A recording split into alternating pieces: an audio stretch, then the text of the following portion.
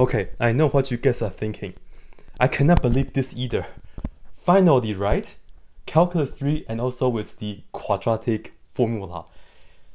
We are going to evaluate the limit as ABC go to 0, 0, 0, and here we have the quadratic formula.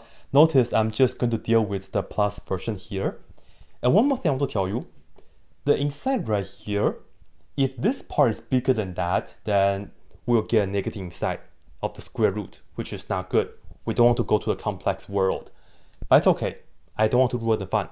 I'm just going to attach an absolute value around it, then we'll be good. Okay, so what do we do? First, put 0, 0, 0 into ABC, work that out, you get 0 over 0. So do more work, of course. But it's usually harder to evaluate and determine the value of the limit. It might be easier to try to show that the limit does not exist. And to show a limit doesn't exist, we have to find two paths, and the limit along those two paths are different, and that case will be done. By the way, I've been doing another calculus video on my other channel, Black Pen Red Pen Calculus Basics. So if you want to see some calculus stuff, go check it out. Link will be in the description. Alright, so let's go ahead and do that. So here we go. Let's go ahead and find our first path. And we have three variables. So it might be easier to find a parametric curve, right? I'm just going to do an easy one first. Let's say A is equal to B, it's equal to C, it's equal to T. And I'm just going to take the limit because A, B, C, D are all going to zero. So that means T will go to zero.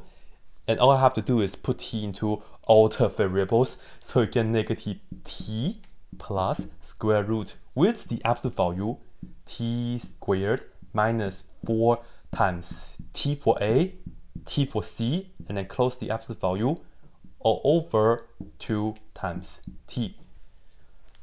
Look, this is t squared minus 4t squared, that's negative 3t squared.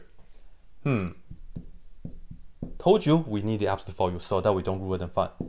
So this right here will just pass the 3t square and take the square root for that. So this right here will give us the limit as t goes to 0, we have negative t plus square root of 3. Okay, fine, I'll just deal with that. So I will just say we have square root of 3 times t.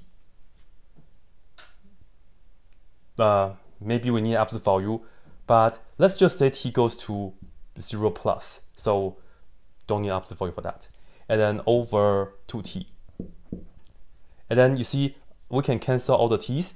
So this right here is just limit as t goes to 0. Here we get negative 1 plus here is square root of 3 over 2. Right, just cancel all the t's, so we have that. And there's no more t. So the limit for this path is just negative 1 plus square root of 3 over 2. Quite nice, I would say. Yeah, I, I don't know why, I just want to show you guys the work. Factor out the t, that's negative 1 plus square root of 3, and then cancel the t and t. Alright, cool. Now we have to come up with another path that will give us different limit and shouldn't be too bad. I forgot the one that I used when I was doing this on my own. I don't want a to be 0, otherwise I ruin the quadratic formula right away. So I still want a to be t. And uh, maybe we'll just put the rest to be 0. Why, why not? I say a is equal to t, and then b is equal to c is equal to 0 along the b-axis and also the c-axis. So this right here will give us the limit t will go to 0, yeah? So I'll just put this down right here. And uh, we have negative b is 0, and then plus square root of absolute value 0 square minus 4 times t for a, but 0 for c, and over to t. Okay, close the absolute value. But notice, this is just 0, that's 0, that's 0, right? Thanks to that 0. So all this is 0, so the top is equal to 0. This right here is just the limit as t goes to 0. The top is just 0 over 2t. And make sure you do this inside out. You work out 2, you work out 0 over 2t first, which is 0.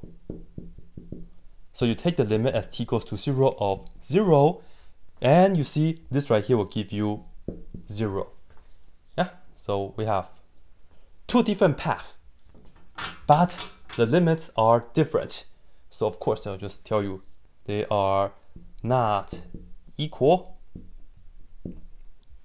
Therefore, we can come back to here and say this limit does not exist.